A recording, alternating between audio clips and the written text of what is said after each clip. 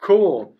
Hello, Pierre. Hi. Welcome to Walk Their Shoes. Thank you very much. Uh, this podcast where we interview, uh, I think, interesting life stories, Mhm. uh, maybe people even. Uh, and it's really good to have you here today. Yeah, thank yeah. you for having me. So I assume you are both excited and a little bit nervous, perhaps. Yeah, yeah, of course. Yeah, of course. Uh, that's natural. But okay, so before getting started with all my questions, because I have a lot of questions, Mm. I think we of course need to have a look at your shoes. My shoes? that you're wearing today. Okay, so look at these bad boys. We got a snake theme Snake going on here. Snake Adidas. Adidas. Yeah. Okay. Yeah. So how come these shoes?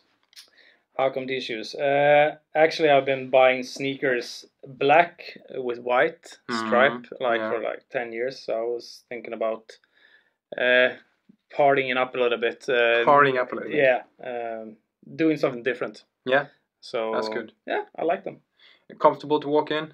Yeah. Uh, not necessarily, Not but but least they look good, they look right? okay. Yeah.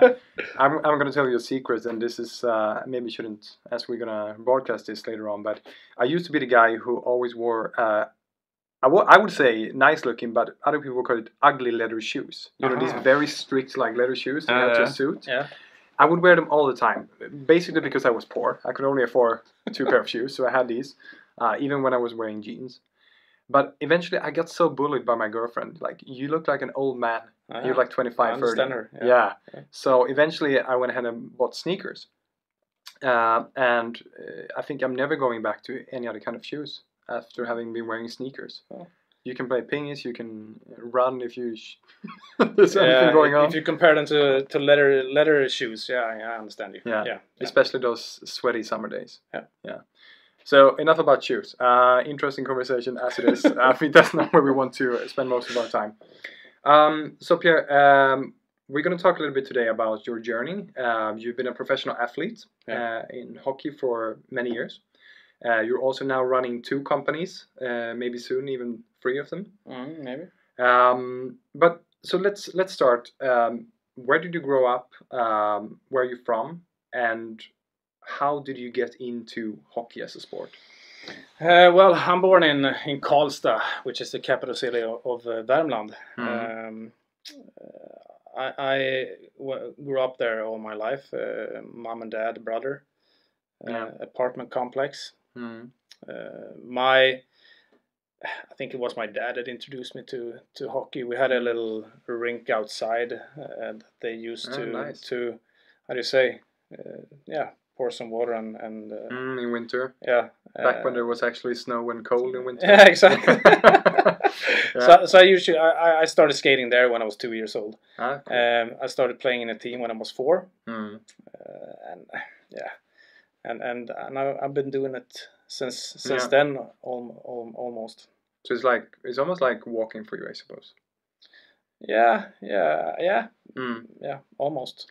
Because when when I put myself on a pair of skates, I can't even stand up. I think it's it's amazing when you see professional hockey players or figure skaters, whatever it is, just the control they have on a thin blade of steel on ice, right? Yeah, I mean, uh, yeah, you, it's it's a lot of training behind it. Yeah. If I say it, at the least, Yeah, a uh, lot of hours. sure. Yeah. Uh, but did your dad play hockey as well, or was he just into skates? Actually, we- I grew up uh, like 500 meters from from uh, the, the the biggest arena in Karlstad, Hmm. uh, where Färjestad plays, uh, Mm. and and we, my dad had a season ticket there, so I always Cool. went with him and, Yeah. and watched hockey. So. I think that's where my interest uh, Mm. came really big because I want I wanted to to be there when I was when I grew up and Yeah. Uh, I saw uh, all of those great great hockey players uh, Mm. almost every second night. Uh, Mm. so um, I think that was a big part uh, part for me uh, Yeah. grow, growing up to see see that uh, Färjestad team. Yeah, very cool. So there was never uh, any other sport that was you know relevant for you. Was it only hockey? Uh, I played football too, Yeah, like Yeah. most guys, they played hockey and football, and then you pursue. and, and then you and then you became fifteen. yeah, we have Patrick on the sound back here, also football and hockey player. yeah. Uh, but I think uh, for the most hockey players, uh, when you grow up and you come up to like 14, 15 years old, you, Yeah. you, you become too too big for football. Yeah. Uh, a little bit too slow. Mm. Uh, so uh, around that time, I I choose hockey. Yeah. Yeah. Okay. Very cool. Um, so you uh, obviously you you played in in, Karlstad when you when you grew Mhm. up for the youth team. I suppose that's where you had your beginning of your career. Mhm. Yes. Um, but what was your first? Uh, was that also your first uh, professional experience of hockey, playing in Karlstad? Where did you go? No, no. Uh, when I was 17, 17 years old, uh, they decided to to um, to do something different in Karlstad. They they tried to put the youth team into a professional team in Division One. Mm. Uh, I didn't really think that that was going to work, so I moved to Mora. Mm. That was in Allsvenskan. Um, that's where I had my first uh, professional experience Yeah. as a 18 year old. Um, yeah, and, and Yeah. that that's the start of the the career in Yeah. professional hockey. I would say. But is it like uh, so? Do you have any choice where you end up, or is it mostly you know this club will take me based on my skills? So can you actually have some say in it? Yes, you can, of course, but uh, in in that case, I, I had that coach, uh, Mm. Thomas Montén. That's actually the Shout out to Thomas. actually the coach for the under twenty national team. Oh, uh, Thomas Montén. Ah, okay. So uh, uh, I had him in Färjestad in my last year, and Yeah. he went back to Mora where he came from, and he took uh, took me with him. yeah. So Yeah. That's really cool. So you maybe also to a large degree um, followed him, right? Because you you saw that you could learn from him. Yeah. As a coach. Yeah. That's really cool. Um, okay, so you started playing in Mora, um, but I know uh, that you also played professionally in both uh, Frölunda, and also uh, is it Luleå? yes, Cool. Um, so, so what is the step to? When would you say that you went pro? I mean, you obviously went. You started your professional career going to Mora. When are you professional in hockey? Like, do you? Is it when you can live off just playing hockey, or what would you say? uh, yeah. Uh, I don't have any good answer to that, but I, I, I, I think I've always been a professional in my sport because Mm. that's the only thing I've been doing. Yeah. But uh, of course, when you make money and can live of it, and you can pay your bills from it, Yeah. uh, it, it becomes more real. But I haven't even thought about it uh, that way Mm. actually uh, until I quit. Uh, Mm. Maybe you start to, oh, and that happened, and uh, that. so I was that a pay- professional. yeah, exactly. I, I, I think I was it all the time, but uh, then all of a sudden the paychecks came in, and uh, Right, you can yeah. do a little bit more fun things with the, with the money. But yeah. I didn't see it that way actually. Mm. That's interesting. I mean, and also then, why um, did, was there a certain reason why you chose those clubs, uh, Luleå and Frölunda? Was it for development? Was it you know opportunities? I think I think the first step from Färjestad to Mora was was obviously the the coach Mm. uh, that that called me in the summer and asked me if I wanted to come there. Mm. Uh, that was the same actually the same uh, reason why I went from Mora to to Luleå. Uh, the coach in Frölunda right now, Roger Rönnberg. Mm. I had him in a in a national youth uh, camp in the summer. All right. Yeah. uh, one summer when I was a little bit younger. Uh, so when I, when I didn't have a contract in Mora, Mm. uh, Roger called me and he asked me if I wanted to come to Luleå. Mm. So uh, yeah, that was the same step. And then from Luleå to, to Frölunda it was a little bit different, but uh, Mm. yeah, I wanted to come come a bit closer to my to my relatives and, and Mm. my hometown actually, and I wanted to play in a bigger arena, so Yeah, so to yeah. say. Uh, and I think that Frölunda was a good choice Yeah. at the time. Yeah. And, and I think it's, uh, we just touched upon it, but it's interesting how much the coach, um, the role he seems to play Mm. in attracting players, in bringing good players with him. You would assume that it's mostly, you know, you have a certain amount or you have a certain level of skill in certain areas, and clubs look for that skill. But here you're also talking about a coach maybe seeing uh, promise in a Mhm. player and actually bringing those players with him. I, I think I think that's that's been the case for me that I have a, ha- had a really good contact with the coach. Nowadays, I think you have more of a reputation as as a as a as a club that you Mm. develop players and you have those kind of skills. you don't have to certainly know the the coach, but, but you know that the the club stands for that. And, and Mm. I, if I take an example, Frölunda has a really good reputation, I think, in in the whole world, Yeah. uh, especially in Europe. That that you come here and you you you work really hard and you develop as a hockey player, and then you go to the next level, maybe NHL or a higher league, KHL, and so to speak. So I think it's a little bit different nowadays, but uh, Okay. I understand what you mean. Yeah, that's really interesting. And what was NHL ever an option for you, or how, how hard is it really to to get? Is it a is it even an option for most players, or does it Uh, demand extreme levels of? I, I would say if you if you told a ten year old guy how hard it is to come to NHL, he would probably quit hockey Really? because that's that's what they dream of and that's what they should dream of. But yeah, yeah, but but the percentage of coming there is it's so low. It's not even yeah. it's not even yeah. A- And this is despite you know uh, the Swedish Hockey League being quite good, if you know uh, international Yeah, yeah, perspective, and you have the Finnish league, you have Russian league, but so NHL is just a different ball game then. It is a different ballgame for, Yeah. for, for sure, and and I think it's a lot of yeah. It, it depends on which which club do you get drafted of. Is is that is that a bad team? Uh, or is it a really really good team? Maybe you Mm. have one spot each every second year to, to take. Yeah, In a bad team, you you know they, they want to uh, younger up their team uh, roster and, and so to speak. So so it's Mm. it's a lot of uh, yeah wh- where you get drafted actually. yeah, yeah. Okay, really interesting. Um, I think this can be a bit hard to um, to answer yourself, I suppose, because it might sound a bit presumptuous. But it's interesting. We have we have Patrick on the sound here, and he said right before this interview was going to start that I've heard you were quite uh, popular among the fans. What what does it mean to be popular among the fans? For me, who doesn't perhaps understand it, or why were you then maybe a popular Yeah, player? I don't know if I was If you were, that, yeah. maybe you were not. We will see. Uh, I think I think I have that kind of style to play hockey that most of the, the audience want to see. yeah, I believe that hockey is a is a working class hero sport, so Mhm. to speak. Uh, interesting. uh, I think that developed also dur- during the time I played, but at, at the time I played, I think the audience a little bit tougher. They Mm. they they usually work as a construction builder or yeah, yeah t- tougher works.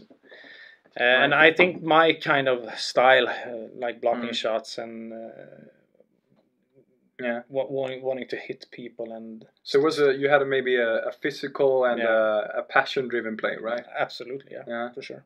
Okay, that's interesting. So, and you also talked about it before, but so do you think that hockey, not only how it's uh, perceived, but actually how it's played, how it's you know how you train uh, young people, has it changed now in recent years? Oh yeah, oh yeah, for sure. Yeah. uh, in in so many different ways. We, we Mm. could talk hours for it, but uh, in, in my first professional years, we, I didn't I didn't talk to the coaches that much. No. Uh, nowadays, after each game, you get a video of yourself and you Hmm. you go through it with the coach and you see different sequences in the game. Yeah, And yeah, so it's it's not a ball game right now, and and the the younger guys who comes up right now, they are demanding it because Mm. they want to see themselves and they Yeah. want to develop and they want to see different situations. Uh, I never, I, I don't think I ever saw myself in a video no, after, after one game my whole career. So right. So it's not only that technology allows it, but it's actually it has changed what you expect as a oh player. yeah, oh yeah. And nowadays you don't talk. You don't talk that much about blocking shots or Hmm. uh, playing physical. Nowadays, you talk about skills and scoring, and yeah, right. uh, yeah. so so a lot of things have changed. Do you think that has taken hockey to a new level? Uh, I mean, the, you say that you focus more on the technical Mm. aspects. Not maybe as so much um, uh, physical is maybe the wrong word, but it's maybe Mm. not so much um, about uh, causing damage to the other Mm, players, yeah. if I Yeah, may put it like that. yeah, But sure. do you think that has developed hockey as a sport? I think so, and I think that was necessary because the, the game has changed a lot in speed. Yeah. Uh, it goes a lot of a lot of a lot of fast bec- because every player nowadays are really good physical outside the game. Yeah, So when they step into the arena, they can they can use that uh, in a much more better ways than we could. hmm Uh, in, in the old days, we had one gym mm. session a week. Yeah. Now, nowadays it's six or seven or eight times a week. yeah, So the players are, are better trained nowadays, Mm. and and that has caused the game to get a lot faster, Mm. and it you- have to have better better skills to to Yeah. to play. And I think that's that's really interesting because uh, one thing we were going to talk about today is the, one of your startups that Mhm. you're running, Yeah. which is called Headzup. Yeah. And you're talking about the fact that hockey has gone from, at least in your perception, and this very physical sport, uh, very much focus on you know whatever it was back in the Mm, day. yeah. Um, but now it's become more technical. It's more about the speed, uh, player skills, basically. So. Talk a little bit about Headzup. Is this then from your own experience that the hockey needed this kind of product? I think nowadays the players aren't used to get hit. Mm. So what they do, they they they go, they skate a lot a lot of faster, and uh, they they just go and, and don't see the the consequences of, of them Mhm. going. And of course, it's it's a physical game still, Yeah, yeah. but but nowadays it's more you bump into each other or it's not uh, Mm. meant to be or so to speak. So Mm. what I saw, it's a it's a great it's a it's a big debate in Sweden right now of Mm. hockey going down. Uh, the numbers are decreasing and players, uh, yeah. of players, Mm. yeah, and uh, a lot of uh, concussions. yeah. And I, wa- when I was a coach, I could see those players who didn't get any damage or was never injured Mm. uh, they had a they had a vision that they always could handle the puck without looking at it. Mm. So Rasmus Dahlin, Lucas Raymond, and a lot of a lot of other guys, uh, they are never injured Mm. because they see where the threat is coming from when Yeah. they have the puck. They don't have to look at it because the guys who looks at it, they can't see where the threats are coming from Mm. or see where the goal is in, in, in the net or where, Yeah. where you can pass the puck or what happens around them Yeah, and that's the guys who, who gets injured yeah. So that's that's the basically basically the, the idea of heads up uh, Mm. is to to don't see the puck when you handle it Mm. and and from a younger age learn Yeah. that from the start So it's uh, it's like a I'm not gonna call it a mouth guard, but it's a it's a guard that you put on the bottom of your helmet, Exactly. on the visor. I think you call it right. uh, cage Cage. All Yeah. right, I learned something today. um, and it's, it's really meant to be used when training, right? Especially to Yeah. uh, to force players to up their gaze, yes uh, therefore heads up. Mhm. And not only will it make them more technical, better players, but it would actually then decrease injuries. Yeah, that that's our that's our vision for this product. Our Yeah. mission our mission is to to create better players that are more skillful. Yeah. Uh, our vision in the long long game is to to uh, decrease the the head injuries Mm. in sport. Uh, so how it works? It's a t- two level Show it to the camera so they can see it. Yeah.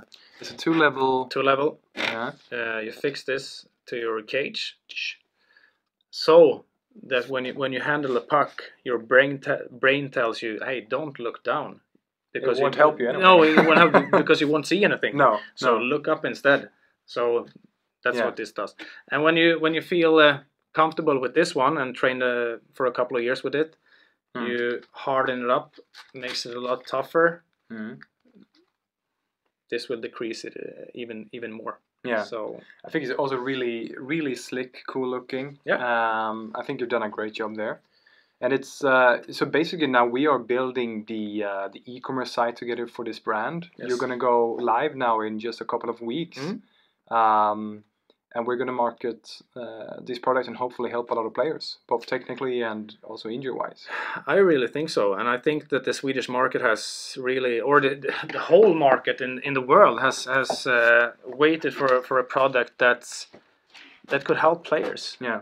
Uh, so it will be interesting. Really Uh, yeah. Yeah, cool. And uh, just uh, before we, uh, I have uh, so many questions, uh, but it was so natural, I think, to also talk about this topic once you mentioned Mm. that hockey has changed. Yeah. It gives me the background to sort of how you came up with this product. And we're going to talk a little bit more later on. You know, you as an entrepreneur, how did you go into that from being a professional athlete? Mm. But before we leave hockey, um, you know, give us the weirdest thing you experienced playing hockey as a as a professional athlete, uh, from fans, from playing the game, the people involved. Can you share some? I had I had a uh, yeah, I had something. Uh, yeah, it happens. Uh, it happened in Mora actually. Um, We were playing uh, HV71. Mm? Uh, I will, I will, I saw in uh, in the on the side uh, that I was gonna get hit. Mm. So I, I went up to the glass and was ready to take the hit, and the guy hit me a little bit uh, lower, so I, I fell down on almost on my back, but yeah, I was gonna land on my ass. Mm. But the thing was that he he also fell down uh, at the same time, Mm. and I I I sat on his skate. So I it hurt, it hurted my ass. Uh, so I came into the bench and I I asked the, the doctor, "Hey, can can you just uh, have a check on my uh, yeah my ass?" so so he put his finger n- not in the middle but on the side. That's an important detail, right? And he was on the on the left side, and I, no, no, no, feel the right side, and and, and he came you, up. You had a he- moment there. yeah, right? I, I had, I had, and he came up, and he, uh, his whole hand was bloody. Oh shit. Uh, so uh, I sat down in his skate, and it cutted my right. Uh, how do you say cheek? No, no, Yeah, no, cheek, butt cheek, yeah. butt cheek. Yeah. yeah. Uh, so I had to. I had forty stitches in in the 40, 40, stitches. Yeah, yeah. I have a Fudge. picture. I have a picture of it. And you were probably so uh, jacked up on adrenaline that you Yeah. didn't really feel no, until you no, know I, I, something. feel, I felt a little sting back there. Yeah. Oh, something happened. So- Yeah. Yeah. I hope this was uh, caught on TV cameras, so the Ah, whole world uh, could see your. The doctor actually took took a picture before he stitched me up. For So your reference or for I don't know, uh, they- they had- to the newspaper. They had a good laugh at it in the newspaper. oh it was in God. Aftonbladet, I think, the, the day after. from your misery. Yeah, Yeah, That's from my misery. Yeah, Aftonbladet, always what's fun. up with that? Uh. Okay, that's a that's a good story. I think that's. Uh, Mhm. I love him uh, just feeding up your buttocks and finding a lot of blood. That's, that's both um, interesting and macabre. I think yes. it is. Good story though. Yeah. okay, cool. Um, so uh, I think that's really interesting. Uh, you you talked about your hockey career, super interesting, and also the product now. And on that topic, because obviously you are uh, right now running two companies, as I Mhm. mentioned, almost free. Um, we'll see in a couple of weeks. Teaser what that could be. But you also have uh, developed a brand of, should you call it food or snack products? Uh, we have uh, on the side here. It's uh, plant-based food, so Yeah. But we also have snack. On Okay, so it's so food both, both. Good. And wh- what what are they? Like, what is this? Actually, this idea started when I, when I was playing. Yeah. Uh, I came up in the mornings and, and I wanted a quick uh, quick breakfast uh, that is healthy and I, that I could bring in the car because Yeah, yeah. it's stressful, uh, not a lot of time. Uh, No. uh, Kids also. la- late night kids, yeah.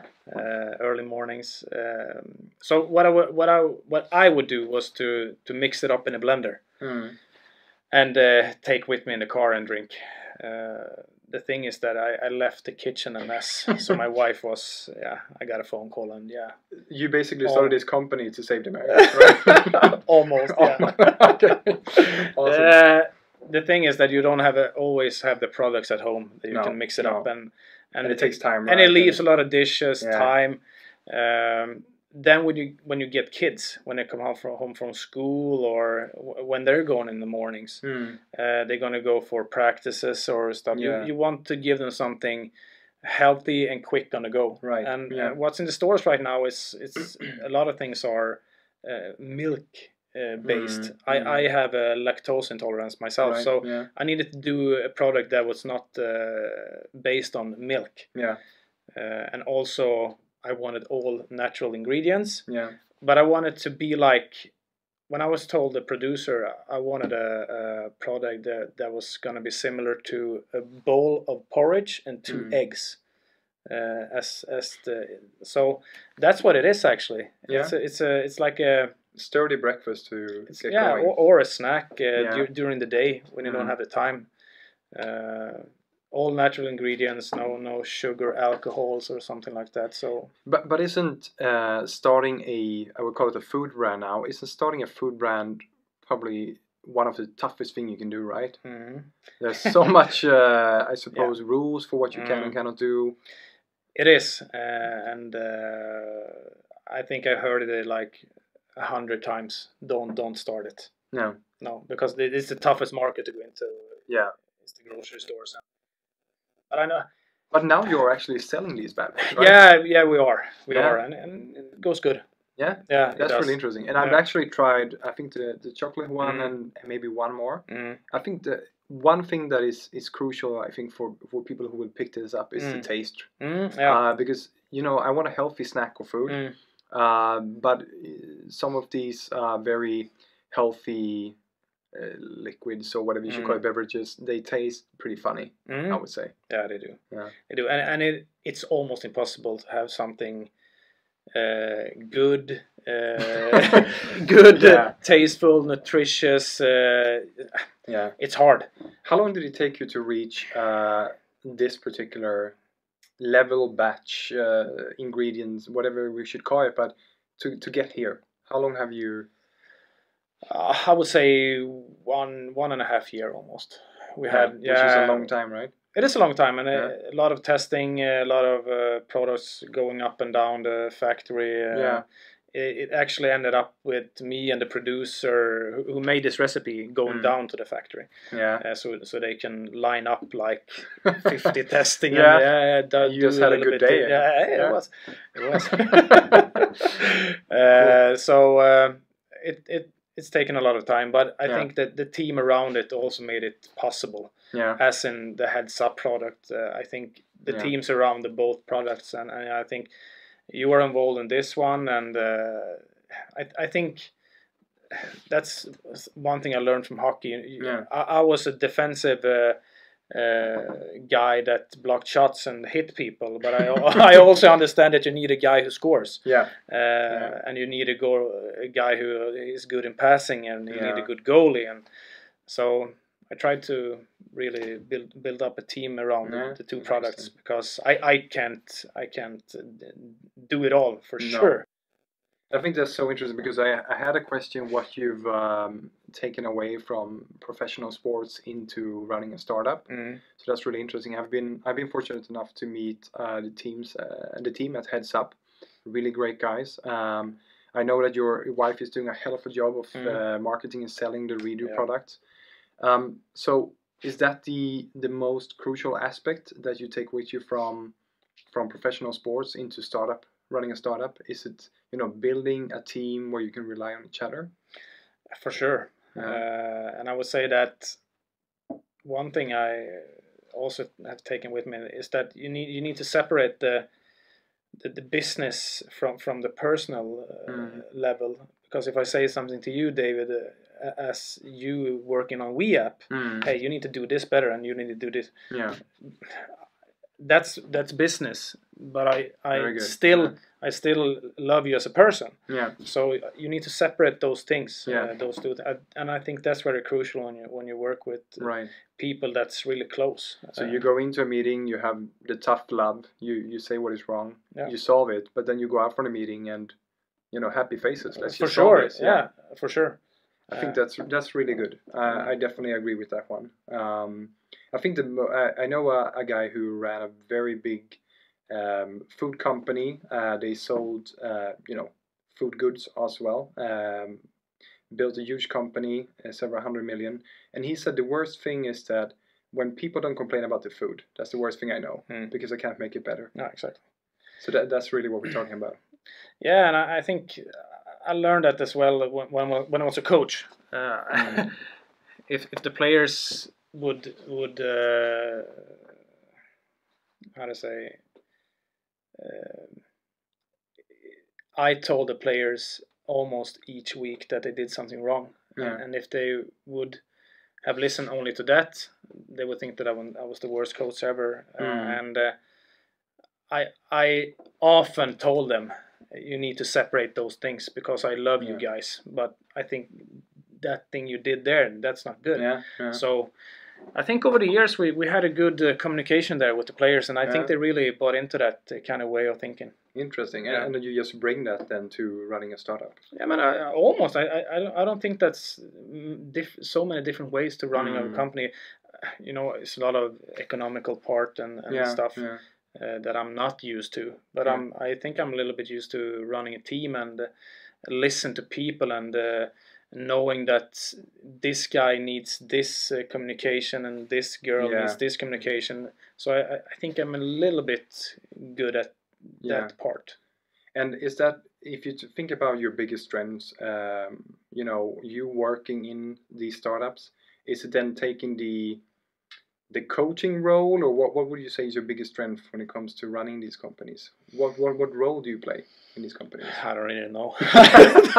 Are you the jack of all trades, master? of I, I think uh, I think uh, in in in this redo company, I, I think uh, as the, I'm the, I'm the like the spider of the web. yeah, Uh, just keeping people connected and yeah, yeah, yeah, and I, and I don't think that's gonna be my role in in the end. But Mm. I like to I like to talk to.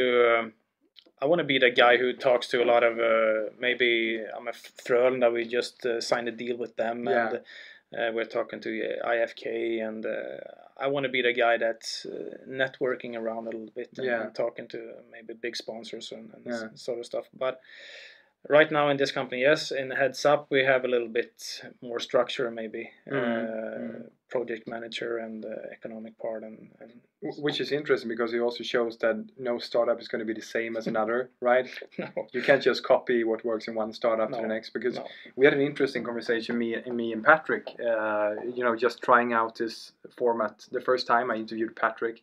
We talked about you know first we gave certain advice in the beginning of the podcast, and then we realized you know we actually have to give extremely contradictory advice uh, because if you talk about this context, Yeah. uh, it's just very different. Yeah.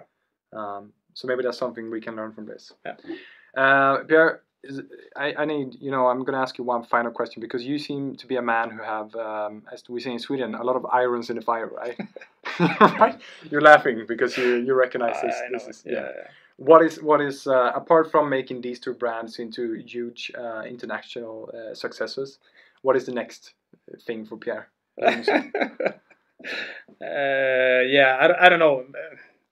Um, I, I actually running an, another company, uh, a, a hockey camp cup company with, with, a friend of mine. That's Mm. um, hockey PT. Uh, with a guy named Andreas uh, who has built up his his own brand for, for many many many years. That yeah. Shout out to Andreas. yeah, that I'm a part you. of right now. uh, so so right now I have a lot of things going on, but yeah, maybe I have something else in, Yeah. in the pipe. Maybe I think uh, you're the kind of guy who's gonna you're gonna die on the you know elderly care uh, house or whatever you call it, your retirement home. You know, running seven or ten startups from there. yeah, but ra- rather that than than uh, being like, oh, I should have done that or I should have done that. Wow, Uh, agree. So, Yeah, yeah. So One hundred percent. Yeah. Pierre, this was uh, a blast. I'm I'm super excited both that we actually got this to happen. Yeah. Uh, getting to talk about you and your your amazing uh, companies. Um, having Patrick, thanks a million. We have Patrick behind the camera. We had a lot of technical uh, hiccups. I think eventually we will see. I think we managed to to get this rolling. So thanks for coming. It's been a blast. Yeah, thank you. Yeah. Corona. uh, greeting. Corona. You know, Corona, Corona. will- We'll edit this out. No worries. cool. Thanks. thank you.